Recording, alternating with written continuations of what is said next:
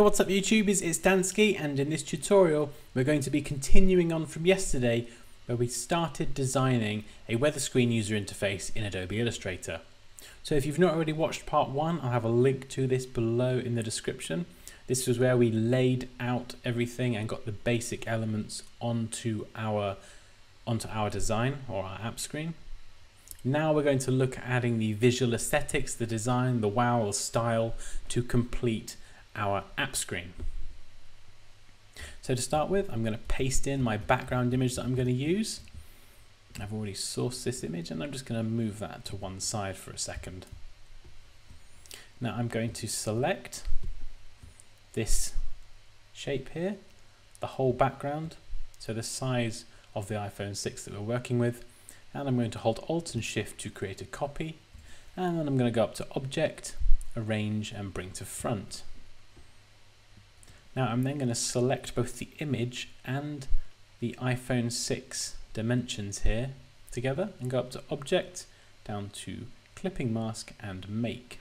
So now it crops my image. Now I can double click this and that will let me go in and I can adjust the crop like so until I'm happy. So something like this. And then up here I can just click the back arrow to back out. Now I'm going to drag this into position. You see it snaps in position nicely. I'm going to go to Object, Arrange, Send to Back, and then just select this top grey layer and hit Delete or Backspace. So now I can see this underneath.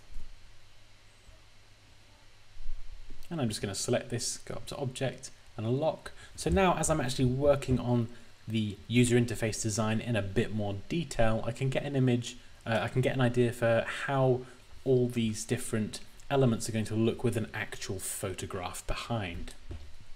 So I've locked this background image so I don't accidentally select it. So let's start working on the design a bit more. So to start with, I've got my umbrella shape here. Now it's always good practice if you are working on something like this to at times make copies of different icons. So for example, I'm going to just drag this umbrella icon out holding shift and alt and I'm going to leave a copy of this shape over here on the right hand side and this is going to still be editable so I can go and adjust the stroke width if I wanted to at a later date because what I'm going to do with this version actually on the artboard is I'm going to go to object down to expand leave fill and stroke selected, click OK. So now the width of these lines is not easily editable anymore. So by doing this, I've got this editable version always over here as a backup if I need it. So now I'm going to increase the size of this by selecting the shape and holding Alt and Shift to scale from the center.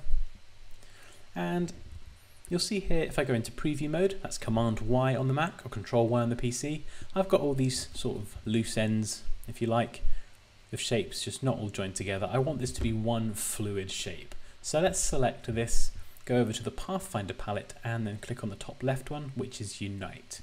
And you'll see there it makes this all into one complete shape. Nice and tidy.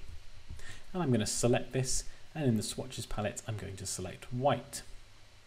Now I'm going to double click this and make this a global swatch because I will have a few other elements that are white as well. And when designing, if I do cho choose to change that white color to a different color or a gray or a blue or a pink, it will update every instance of that white color. So very handy there. So now I've got the text saying London up here and the temperature. And I've got the location icon. So I can select all of those, holding shift and clicking on each one. You'll see at the moment the fill is black, and we're going to go and add these to white as well. So if I do double click this white swatch and I did want to make all of those black, for example, I can select the preview box and you'll see that as I adjust this swatch, every instance of white will be updated. So it's a very quick and easy way to adjust the color on multiple elements when you're trying lots of different designs to see what works. But for now I'm happy with this. I think it can probably do with standing out a bit more because if you were designing a weather app, or as we are, you may have lots of different images in the background. Some might be sky, some might be rain. Sky can be a lot lighter than a dark rainy image. So to ensure that the lettering, the place and the temperature will always stand out, what you can do is select the rectangle tool. We will draw a rectangle that is the size of the iPhone 6 screen. So dragging from the top right to the bottom right sorry, the top left to the bottom right corner. We're going to set the fill of this color to black. And using the shortcut keys here, we're going to send this all the way to the back and then we're going to bring it forward one step. So then object, arrange, bring forward. So it's on top of our photograph layer. And then what we're going to do is in the transparency palette, we're going to set this to 10%. Now you could set this to a higher percentage. We're trying to find a balance between making this lettering and the uh, the temperature and all the white elements stand out more whilst not dulling the image down in color too much. You could do 50% for example, which makes it a lot easier to read, then the background is quite dull. So usually somewhere around 10, 20, maybe 30% is quite good, quite a good balance for allowing any kind of lighter text to stand out whilst not dulling the background too much so that it loses its vibrancy. I think for this example I might go for 15, 15%. So what I can do now is select this. Remember I'm selecting the transparency layer because the background is already locked, but what I'm going to do is lock this as well. So go up to Object, down to Lock and Selection, now it will lock any shapes I've got selected.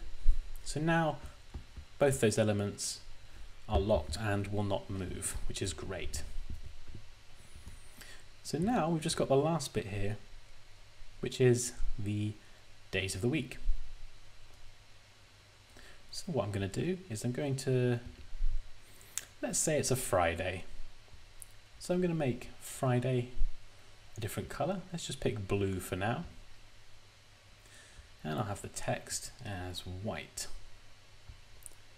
Now I'm going to select with the direct selection tool, that's this one here, over just the boxes, hold shift and then just select over these other two as well. And I'm going to knock the transparency down. Now I don't want to delete these boxes because when designing you might try lots of different things and if you delete them they're not there to then edit with and play with if you are, do decide to try another design. So I'm just going to make them completely transparent for now. And then I'm going to left click using the direct selection tool and holding shift I'm going to select these other days of the week and I'm going to make those white as well.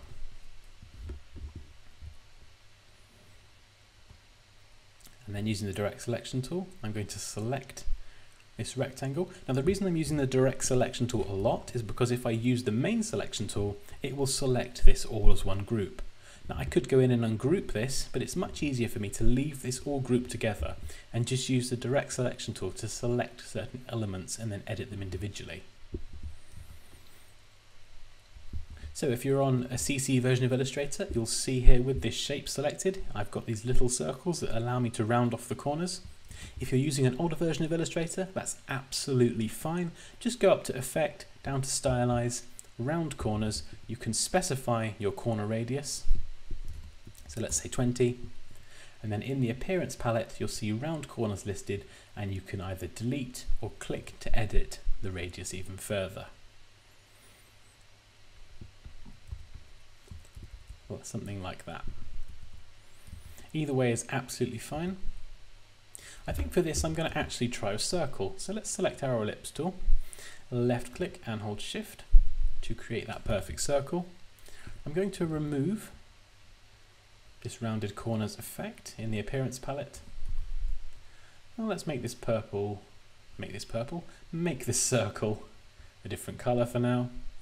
And with our smart guides turned on, you'll see it snaps nicely to the left and the top edge and we can hold shift to make sure it stays a perfect circle to drag this out. Now I want to just drag this to the right as well holding shift as our text is aligned centrally to this blue box, I want this circle to also be aligned to the blue box.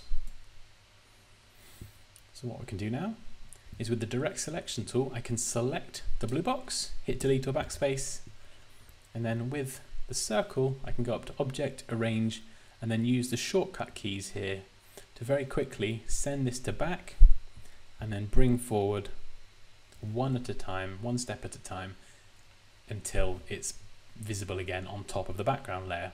And I'm going to make this the blue color again.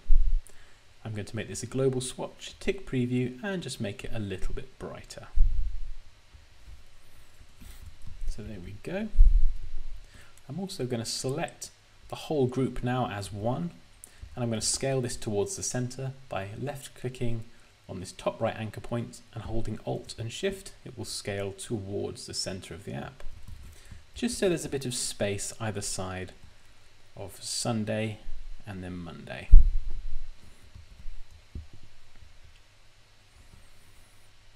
And then I've still got this over here. I can keep this editable and I can move this all the way off to the side so it's not visible or I can delete it altogether as needed. And then you can adjust these other elements on screen. You can move them around as you like. Just experimenting with an alternative design.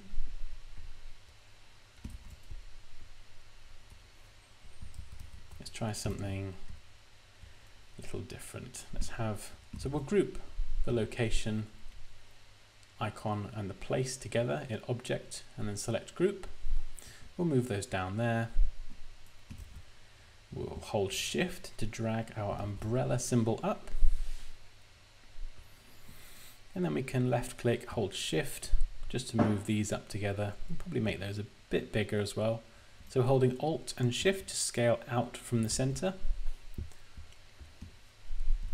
And then what I'm going to do is left click and select everything go to this little icon here, select align to artboard, and then make sure that it is horizontally aligned in the center to the whole artboard. And I'm just going to drag this one back down. I think I might just add a divider in between these two here. There's a lot of random shapes, so you've got the degree symbol and you've got this icon and the, the temperature doesn't have an icon, so I think I need something to help these two elements look a little bit more like they belong where they have been positioned, if that makes sense. So I've selected, I've created a horizontal line with the line tool, and I'm just going to set the stroke color for this as white, and just increase the width to about four. Then using the, the direct selection tool, I can just left click and hold shift to drag that out.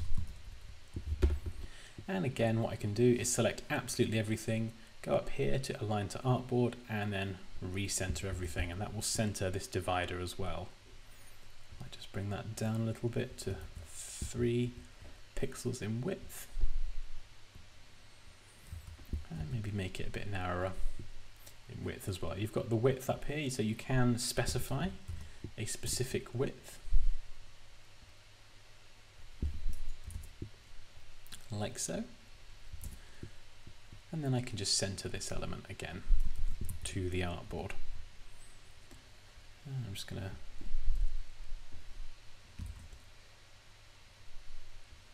left click and hold shift and then just nudge these down. So there's a bit more of a gap between the location and the temperature. Now I'm going to group these elements together by going to Object and Group. And then I'm going to group all of these elements together as well. And then just go up to Align to Artboard and just check that they are all centered to the center of the design. Ah, you'll see here Friday has moved out of line somehow. That's fine though. I know Friday's not moved out of line, it's the circle, sorry. So we can just drag that back into place with the direct selection tool. That's absolutely fine. And there we go. We've completed our weather screen user interface design in Adobe Illustrator. As always guys, please feel free to leave any questions or comments below. Like this video if you enjoyed it. Take care and I'll see you next time.